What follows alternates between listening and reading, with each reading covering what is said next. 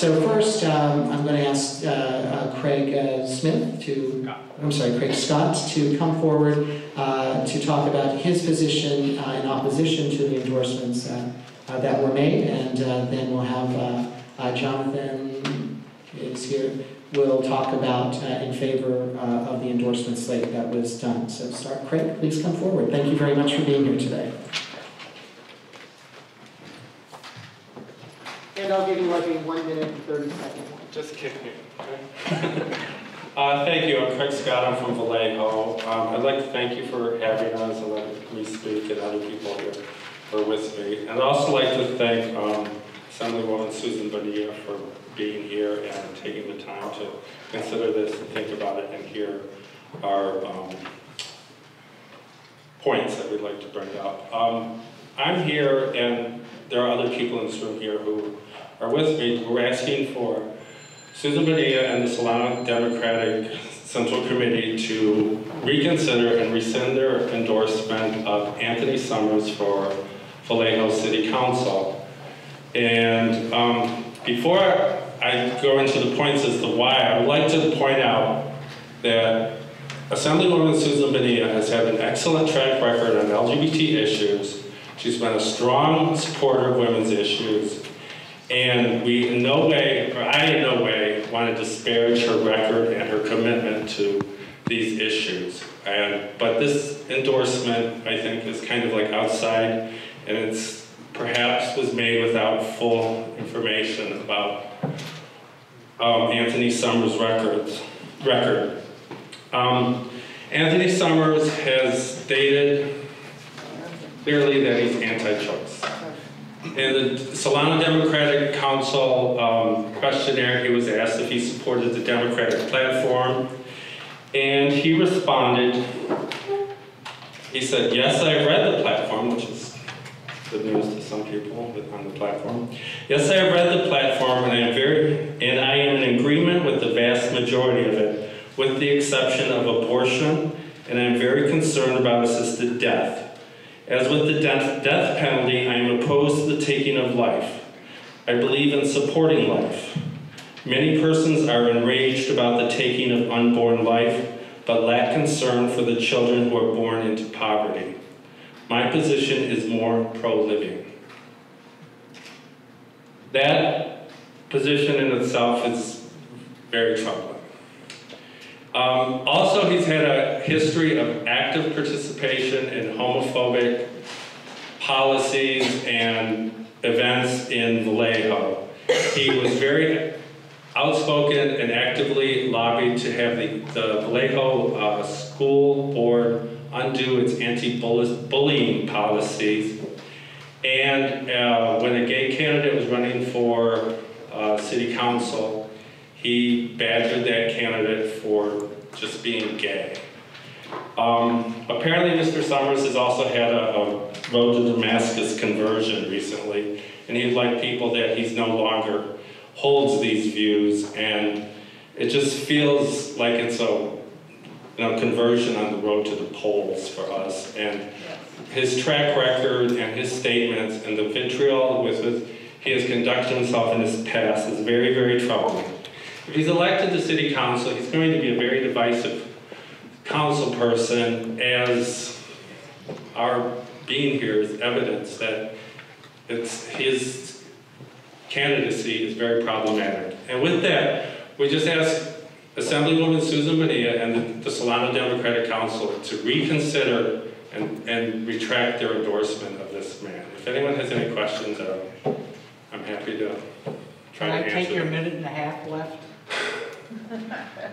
Actually, questions should Oh, kind of, yeah. Okay, so, You want to fill your minute and a half? I mean, you can. no, I, defer. I, I, I'm, no, just, thank you, it's wonderful being back in the Union Hall, as, grew up in a UAW community. He's gonna have you at the end, public. I can't use his minute and a half? No, Okay. at the end, we'll get. Thank you, Craig. Uh, uh, Jonathan uh, uh, Gordon is here to talk about, to support the endorsement that was made. Thank you, Jonathan, for being here.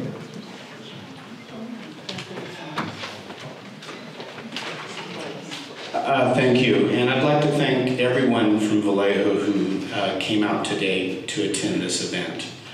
Um, I, I need to make a statement that uh, I'm not representing uh, the club in my speech.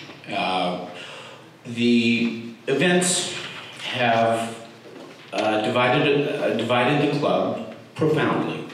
Uh, in fact, the next meeting, which will be the week after the election, the club is planning to uh, make a motion to uh, uh, reprimand me for my uh, endorsing Anthony.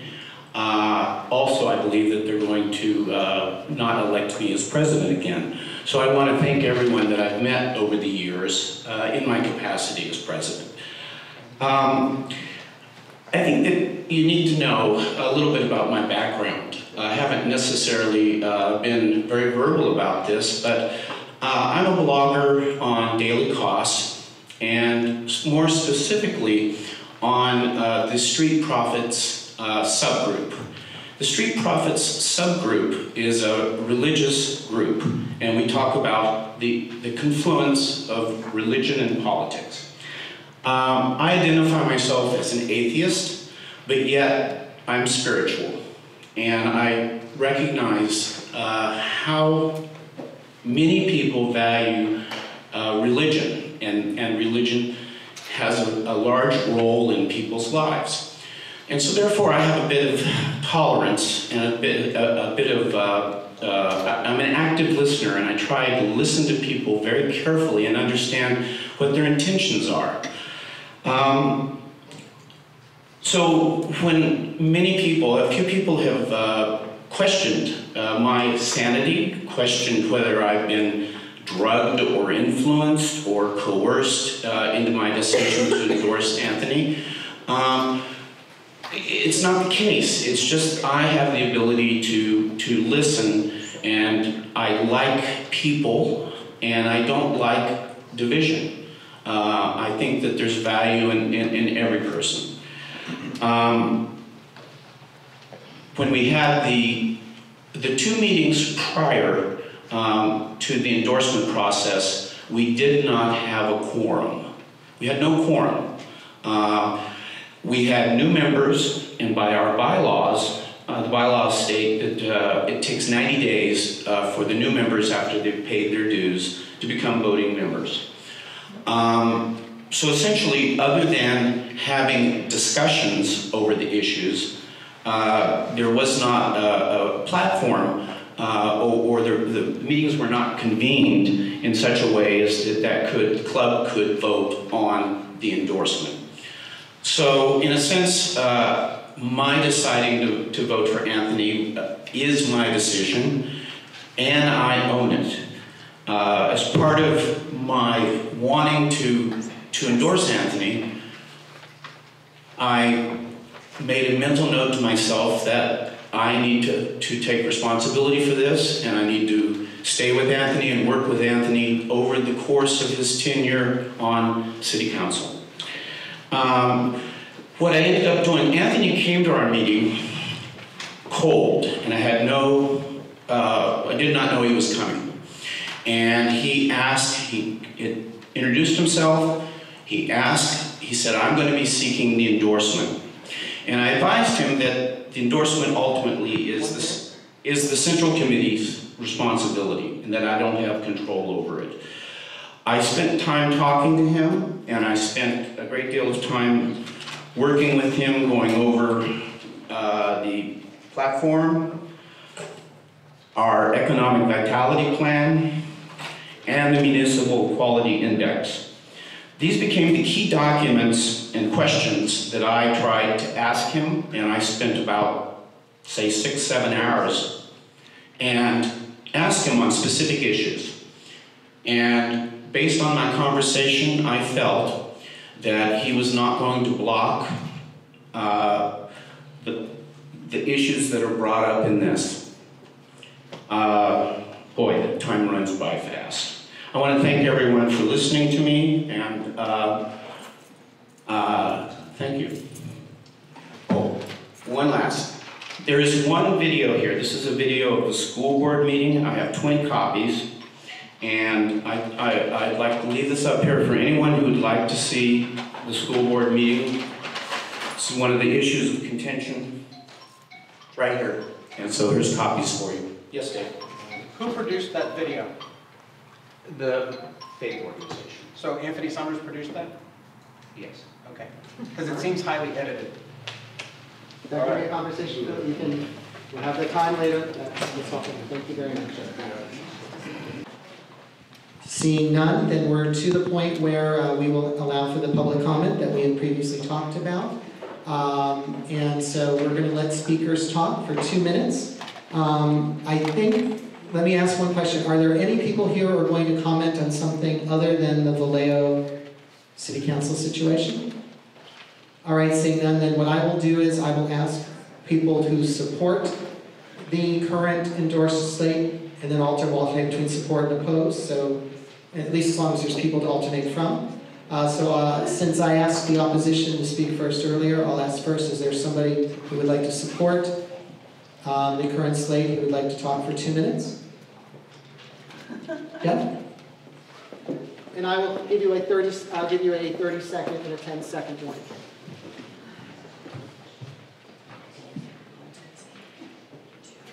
So I, I think I want to clarify, I'm not necessarily speaking on behalf of the slate as much as I am about, uh, on behalf of the people that made the slate, because I trust John Riley, I trust Susan Bonilla. Uh, in fact, I, uh, produced the Prop 8 play, uh, just recently here in Contra Costa County, and Susan was, uh, my highest dollar value, uh, supporter.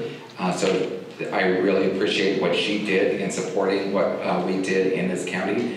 As far as Tony Summers, um, I am interested in learning more about him, and uh, I'm offering up my. I would like to have a conversation. I, I think we need to actually have more of a conversation and actually get in the room and talk with him and other uh, his supporters because I, I believe that we're, we, we're coming from a very strong standpoint, and I think that when we open up the dialogue, that we're able to move us forward.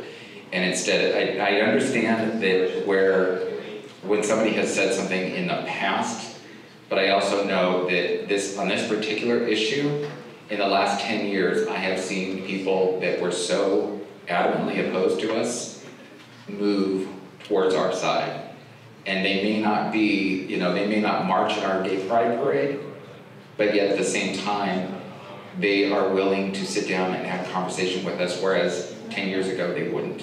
So that is something that I want to be a part of.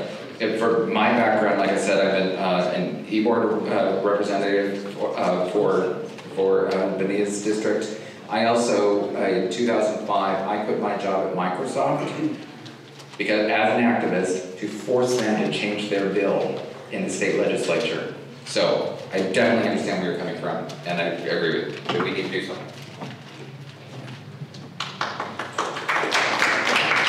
Uh, someone opposed, uh, Can I ask a question? yes? I- Everything I know about this issue I learned today, okay, which tells you I don't even know what's going on. So could you clarify one thing? The Solano County Central Committee endorsed the candidate named Anthony Summers? And three others, yes. Okay. And when someone else spoke, they said something about a quorum at that meeting. So was it a legitimate endorsement? My, that, that, that, I mean, they're not, that's something you just, I can say as far as I know, everything about that process was legit and per the bylaws. That was my question. Um, so people are here for uh, generally other reasons, as far as I understand. And before, I know some people have to start to go. If you have your DEM 2014 packet, I'm happy to deliver it for you or give it to Ford to take back to the state party office. So feel free to give me those on your way out. Now, somebody speak uh, in opposition. I'll cut right to the chase. Um, There's evidence that uh, Anthony Summers has been in the past anti-choice, anti-gay rights, and would be willing to eliminate much of the separation between church and state. And this has occurred within the past year in some cases. Uh, There's a lot of rumors going around. I'm trying to get the, the facts. Was information about Mr. Summers' willingness to uphold the party's core values, misleading or ignored or withheld. I'd like to know how long he's actually been, that he and the other people have been uh, a registered Democrat. Uh, Did anyone check? At one point, Mr. Summers wrote in his own document, he was a registered Democrat for 35 years. Later, someone else said it's four. What's the truth? What's going on? Are there any minimum requirements these clubs ought to use? And what's the criteria for selecting a person for an endorsement? And I'd like to know why the Central Committee hasn't released how their members voted they're supposed to. And I'd also like to say, I like Mr. Riley, but I'm wondering why Mr. Riley, who's a member of the Central Committee, who runs a pack called Jump Start, is sending out materials that are attacking fellow Democrats by name. And this is what it looks like, and he names it. Ah. He names these people, and I don't think that's appropriate for fellow Democrats to be doing that.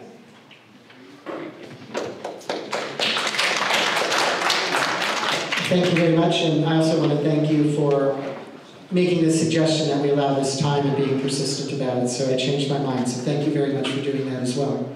Uh, Somebody who'd like to speak in favor? I Please. do. Actually, JP, if you don't mind. Yeah, okay, I'll yield to the lady, as long as I speak next. Next, opposition and I am the um, parliamentarian for the Solano County Democratic Central Committee. Um, And I I just want to speak to the process that we went through and assure everyone in the room that it was my third or fourth time being responsible for the management of the process. And for those of you who know me, you know I don't screw around with that. Uh, I am a CEQA attorney, so process is everything to me. I want to assure you that the vote was very clean, that uh, there were 24 possible votes. Mr. Summers got 13, the bare minimum needed for the endorsement. Every Dem, and yes, I personally checked on the registration of all of the potential um, endorsees, and I personally sent out communications to each of them. Not everyone responded. As you might know, Katy Miessner is not eligible for the endorsement because she's subject to the Hatch Act. And one other candidate for Vallejo did uh, respond and appear before us. As has always been the case, we base our decisions on the que, the answers to the questionnaire, which are revisit, you guys need to be quiet while I'm talking. Okay. Um, And you see, that's how I run a show. Thank you. Okay? Um, And uh, where was I? Oh, there's a fairly lengthy questionnaire. Everyone has to fill them, fill them out. Um, And so we review those in advance of the, of the endorsement meeting, and then we hear from the candidates and base our decision on that. So it was a very clean vote. I I do want to make sure that there's no question about that. I'm happy to answer questions afterwards. One final thing, I will say that almost everyone in this room came to this party after some kind of struggle, just like this one, and we stayed. And we're very hopeful that you guys stay. We're, I'm very thrilled that you're engaged, and I, I hope we can work together in the future on things that are critical to us all. Thank you. Person in opposition? I know y'all want to go home. It's a beautiful day. Um, I will talk, I wrote out my little thoughts on a little piece of scratch paper because people know me know I'm very verbal. Um, but there's, a, I love quotes and one of them are, um, speak even if your voice shakes and speak truth to power. Um, I've been pro-labor since I was 18 years old, John. um, to, up to my medical retirement at 53 years old um, with my health and dental. Um, I won't go into my story about why I'm so passionately pro-labor, but you'll just trust me on that. Um, but after working my two off, people who know me, for about 25 years for a local Democratic um, party, a lot of the George Miller and Barbara Boxer signs, I put most of those up all over, yada, yada, yada. Although I've done more local lately. Um, I listened to Jonathan and Dana, and I still don't understand how this could happen. Um, how we could have endorsed someone with a history of um, anti-democratic core values um, they've already been mentioned, when we have a former vice president of our Democratic Club and a former treasury with a long, long, I'm talking decades-long history of working their butt off for our city. It just boggles my mind. There has been a long civil war, John, in our community, which I think is the greatest place in the country to live. Um, with, and it's a very, huh? Okay, I'll wrap it up. Um, with this, this big money and big labor and Chamber of Commerce on one side and the progressives on the other, and it needs to stop. I don't think what I call big, out-of-control labor is doing more damage to Democrats and labor in our community than it realizes, to the point where it's become a joke and at best, and hate politics at worst. Um, this conversion on the way to the polls, I think, is what's going on here versus the history of work, and I hope it never happens anywhere else in the state. Thank you for listening. In support, please.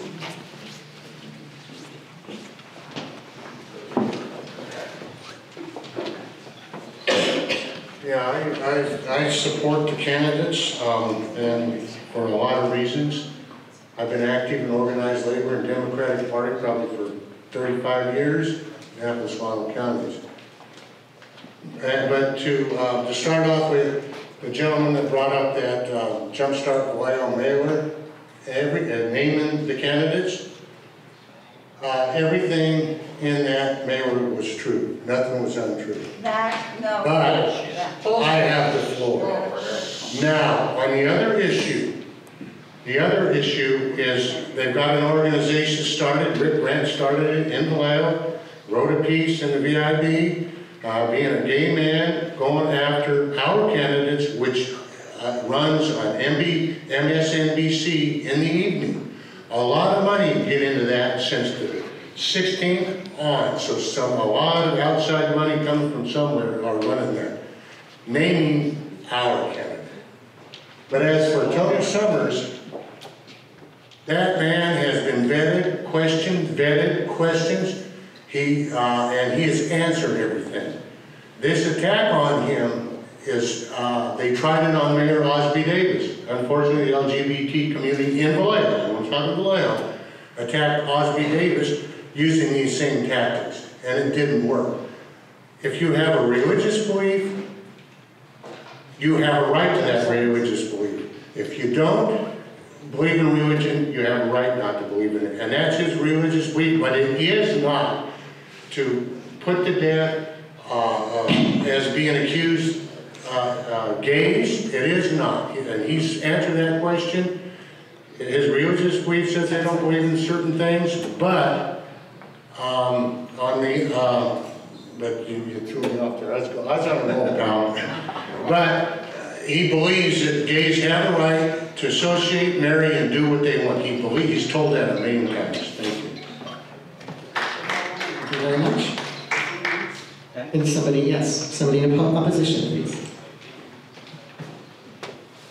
I've been, I've been talking with Anthony Summers for years. Um, we actually went uh, head-to-head with him in front of the Vallejo School Board when he was actively working to dismantle an anti-bullying uh, proposal. So the video that he'd like to show where he was the MC of a forum, of a candidates forum, and he told the gay man who was running for candidacy that he thought homosexuality was a very public sin. Um, at that time, in 2009, there was a, a girl, Rochelle Hamilton, in our school who was contemplating suicide. That contemplation of suicide is what led to an ACLU mandated uh, implementation of an anti-bullying campaign in Vallejo, and he actively worked against that, and, and not only himself, but he was working with two other groups from San Francisco, from uh, Sacramento, Capitol Resource Institute and the Pacific Justice Institute, which are both very violent anti-gay lobbying groups. And um, you know, I had to work with the school board across the board, across the table with these people, and, and, and have them in my face tell me that I just want to let you know that I uh, regularly preach against the evils of homosexuality from my pulpit. While he was supposed to be helping us craft a new bullying campaign. But in the, in the Times Herald, he says, that I don't agree with same-sex marriage personally. That is his statement. In the questionnaire, he says, I am against abortion. I've been a Democrat for my entire life. My mother was a Democrat. My grandfather was on uh, the Democratic Central Committee for over 50 years. And, and so, and so this is really anti-platform, it's anti-gay, and it, it really has to stop.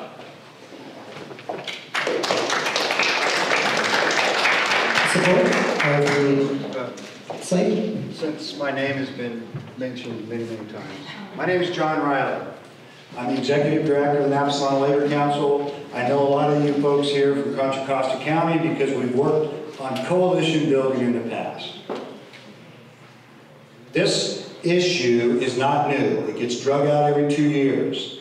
We need to start talking about the issue like adults and not throwing out these little bumper sticker catchphrases like Tony Summer wants to kill gay people. That's how conversations are being started in Vallejo on this issue right now. We had a great amount of success working together on the Jim Frazier campaign. That was because we sat down beforehand as Democrats and Labor. We looked at issues that we agreed on. We knew that there were candidates that were better on some issues than others, but we knew that we needed to win elections so that the majority of the democratic process, majority of labor issues were going to be represented. That's what we did in this case. We sat down with every single candidate that we interviewed. And it's all about process and participation. This issue was brought up two years ago. And yet I've been on the Democratic Central Committee now for two years as their board rep, and it was never brought in front of the body to, to, to talk about like adults.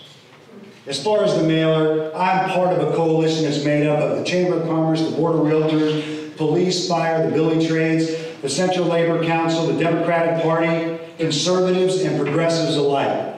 And we're tired of the divisiveness. And the stuff that's been exhibited here, not here specifically, but in the city of Vallejo, is the reason why that coalition was formed and the reason why the list of endorsements is so long. We're tired of the divisiveness.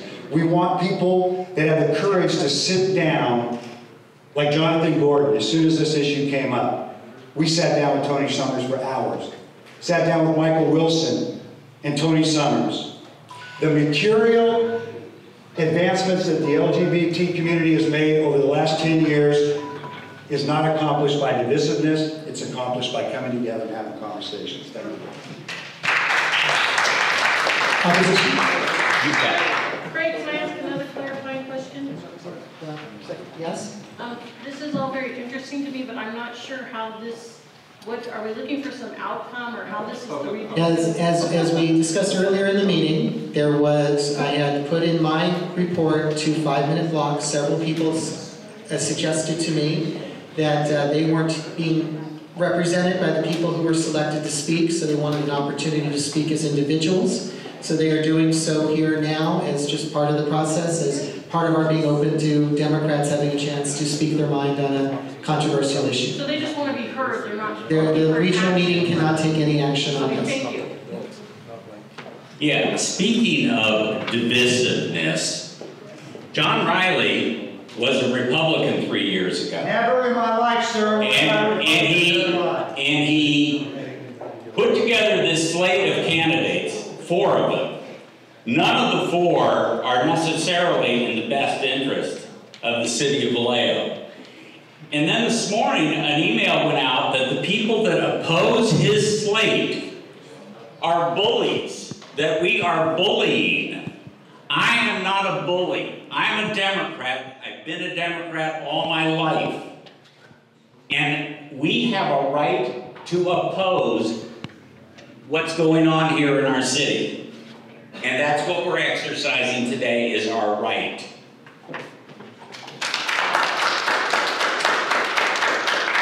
Any other speakers in support? Move to adjourn? Uh, Any, we want to give everybody a chance to speak, so I'm going to ask you to withdraw, I'm not going to recognize that. Any other speakers in opposition who have not had a chance to speak so far?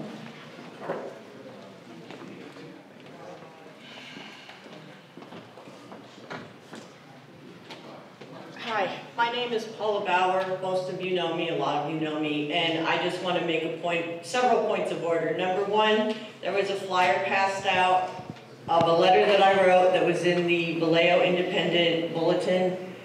And I wrote that as an individual, as a citizen of Vallejo and sort of Berkeley, but that's another story. I did not write that as the treasurer of the United Democrats, although it has been attached to my name on that letter. I was not speaking for the United Democrats, I was speaking for myself. The other point I would like to make is that we do not believe this process has been fair. I know from Dana, and I trust Dana, and I like Dana, but the process has not been fair to us. There has not been a true hearing, and this is just another example of it. Um, it's a quarter to four, and we were to be out of here 45 minutes ago, but we're gonna squeeze in this little bit of extra time. And I don't think Susan Bonilla is even left in the audience. Which was the whole point to come here to ask her to reconsider her endorsement. Um, that's all I wanna say. Well, she wasn't in the room when I was speaking, so what am I supposed to say? Any other speakers in favor? Other speakers opposed? All in favor? Please come on. That's all.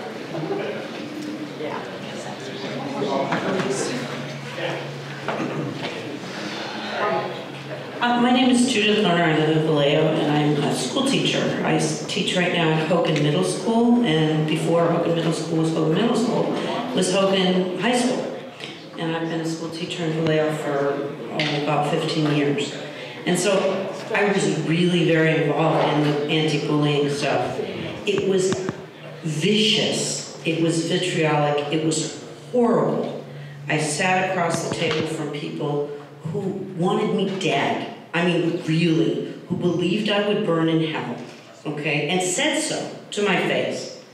And and these were the people that the school district brought to the table to try to craft an anti-bullying program that we were required to do because we lost a lawsuit because a student was bullied, not by other students, but by faculty and staff at high school.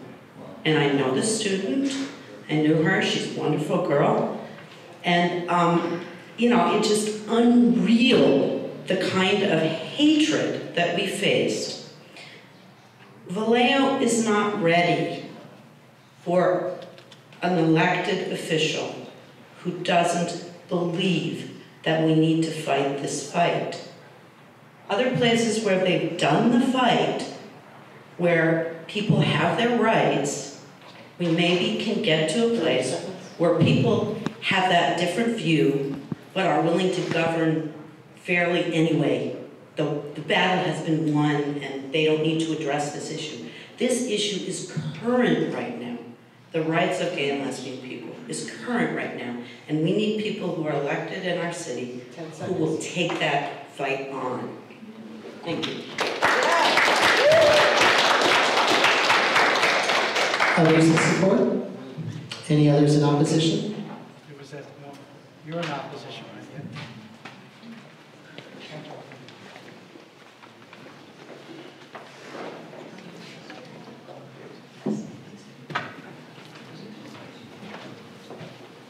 Well, my name is Rebecca Nord. I live in Vacaville. I'm not from Vallejo.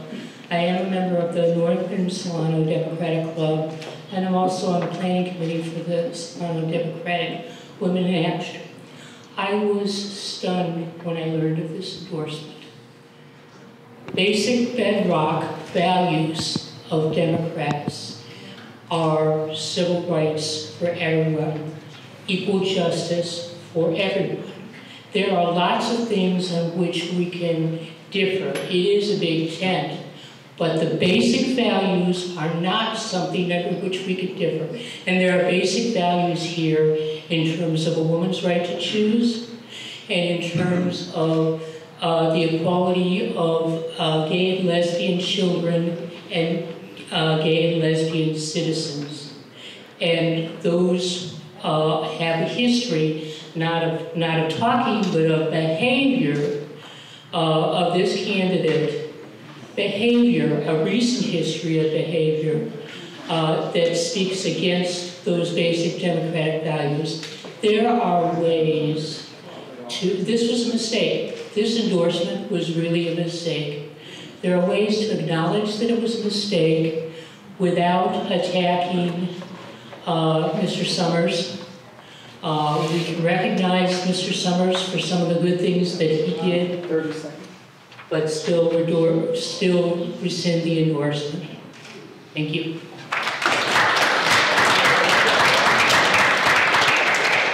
Anyone to speak in support? Any others to speak in opposition? Can I speak in the middle? Sure. As a person who's just being approached by this? Sure.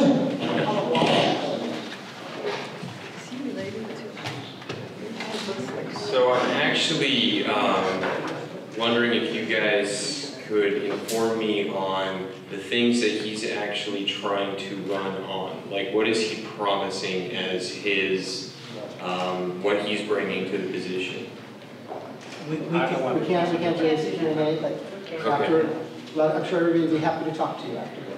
Well, um, I, I guess I've heard that uh, on the Ford side of it, uh, there was the idea that he, you know, they're working on him and we're trying to bring him to understanding these values in a better light. And um, from what I'm hearing on the opposite, it's that this endorsement was not made in a democratic way. And uh, obviously, these two issues. Um, these are really big issues for me too. I'm um, an outspoken ally of the LGBT community, and um, I guess you know I never really thought about it in a political sense until the issue of Prop 8 when I saw um, a rally happening the day afterwards. You know, with people just really, really crying out for this and like actually crying. It was the first time that a political issue like hit my heart, and I like. I literally dropped to my knees for just watching them go, and I, I just, it was so impactful for me. That was the first issue I became a part of before, you know, I got into environmental issues and everything like that, and, um, and even before that, I was um, very passionate about women's issues, and, um, you know, just the fact that we're still 23 cents away from real equity with how we're paying women compared to men. I I think that these are not issues that we need to keep building people along to. Um, we need to work on getting people into these positions that are actually fully representative. We need more progressive people on these issues, not people that are still not there.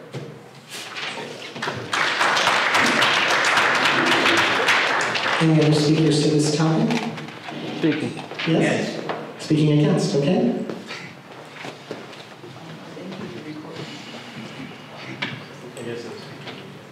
John Riley likes to paint this in a political light, but it is not that. This is a human rights issue. Last year, Anthony Summers made a movie with a guy named Ed Silvoso, who preaches that gay people are infested with demons, demons which need to be driven out. Mr. Summers could have made his movie without affiliating with Ed Silvoso. It's as simple as this. You have endorsed a candidate who has chosen to affiliate himself with a known hate group. That in itself is disturbing. But what's even more disturbing is that Mr. Summers doesn't seem to think that this is a problem. He feels he can associate with Ed Silvoso, who espouses this hate speech. And he feels that even though he's making a movie with the guy, that he can sort of have a cafeteria plan of the ideology. He likes the idea of praying over cities. He could have made his movie without affiliating with a hate group. What he's done is damaging and it's hurtful to my friends in the LGBT community, and it, it pains me as a civil rights issue. It's as simple as that. Having someone like that representing my city is disturbing. Not to mention the fact that part of his doctrine, dominionism, talks about the seven hills of dominion, government being one of them. The indication being that dominionism, that he is a, a devotee of, along with Ed Silvoso, is fundamentally opposed to the separation of church and state. He didn't need to associate with a hate group last year. I, if it was a long time ago, I might believe him, but this was last year. I have a problem with it. Thank you.